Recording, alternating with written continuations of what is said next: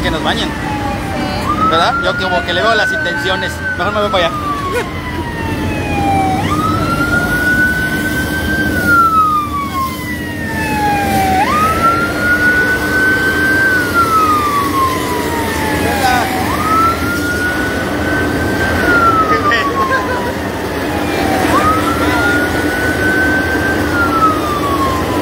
A ver, Vamos para el otro lado.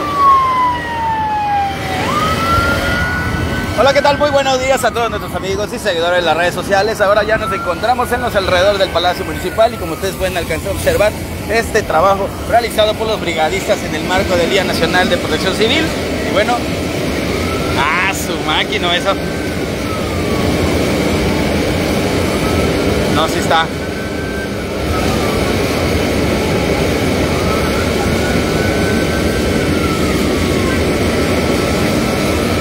Para atrás.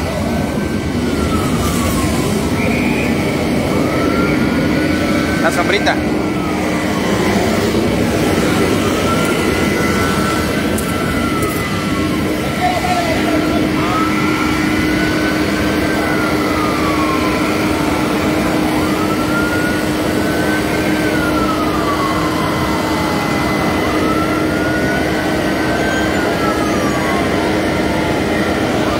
Bueno, pues ese trabajo, vean, ahí se perdió un, un brigadista, vean.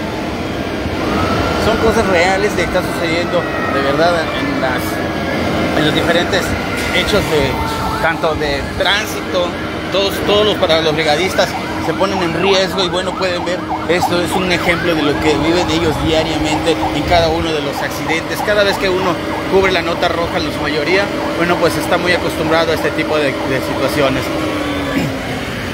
Vean.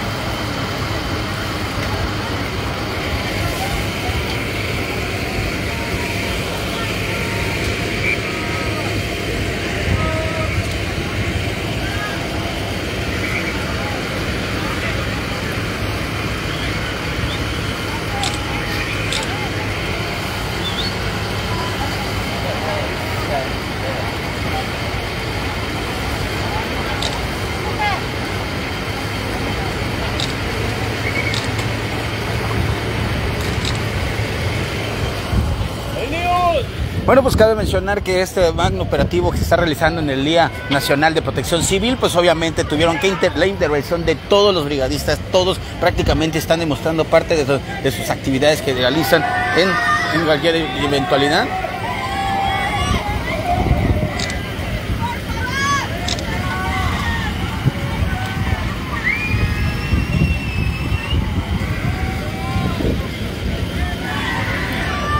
Y pues más que nada lo que se busca aquí es que la gente también conozca cuáles son los aditamentos con los que cuentan estos brigadistas, cuánto es el tiempo de reacción, cuántos elementos participan o podrían participar en cada uno de estos rescates. De verdad es una, es una labor titánica por parte de las diferentes dependencias de rescate, pues obviamente está participando personal de protección civil, entre ellos bomberos, también Cruz Roja, paramédicos de diferentes, de diferentes situaciones y sobre todo los rescatistas que están haciendo su labor en estos momentos.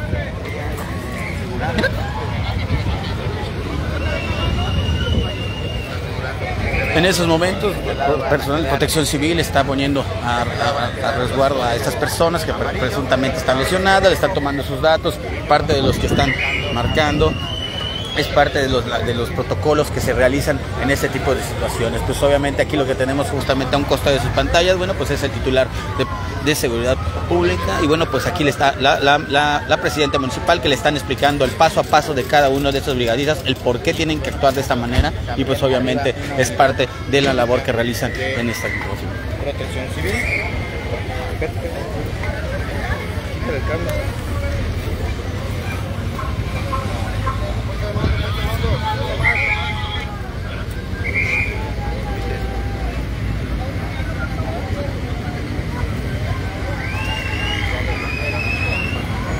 trabajo para México urbano de la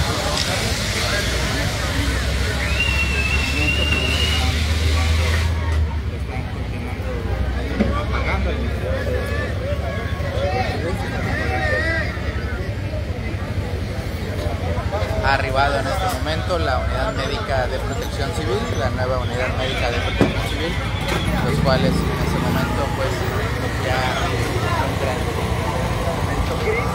Vamos a continuar por acá.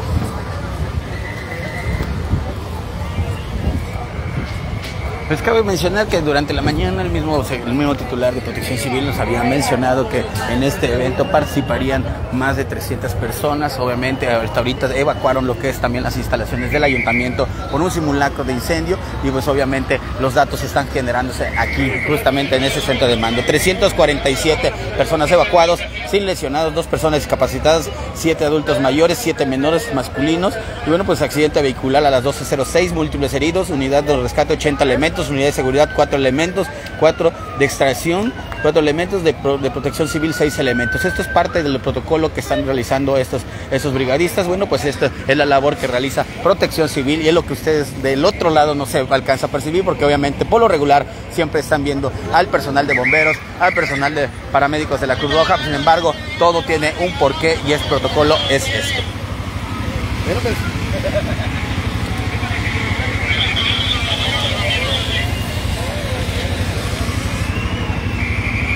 Cabe mencionar que también el que se realizó fue la evacuación de lo que es el Palacio Municipal y pues obviamente también ahí fue parte de los resultados que le acabo yo de exponer y pues esto es parte de lo que se realiza hoy en el Día Nacional de Protección Civil y bueno pues esta vez parece ser que esa extracción de lesionados en el, de este autobús aparentemente marcado con el número 205 que podría ser del Valle.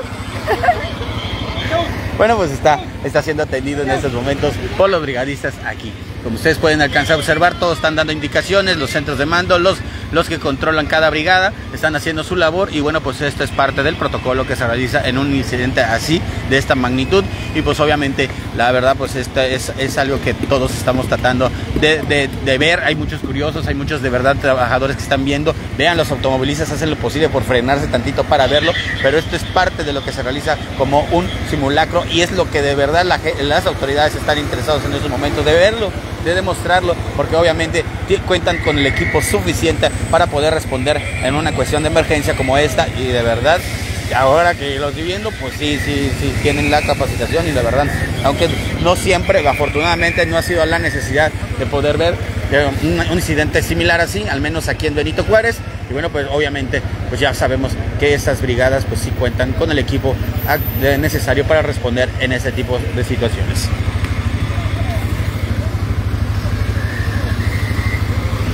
Bien, pues esto es lo que está registrando justamente aquí en el municipio de Benito Juárez, donde las autoridades, tanto autoridades como dependencias brigadistas de todo tipo, pues están participando en este macro simulacro aquí justamente en los, alrededores del Palacio Municipal. Hace unos momentos pues se realizó lo que es la evacuación de lo que es el, Palacio Municipal y ahora están haciendo una labor de, extracción de lesionados aquí en, este, en este, de este autobús, simulando en este, en este trabajo que está realizando en lo que es la avenida Tulum.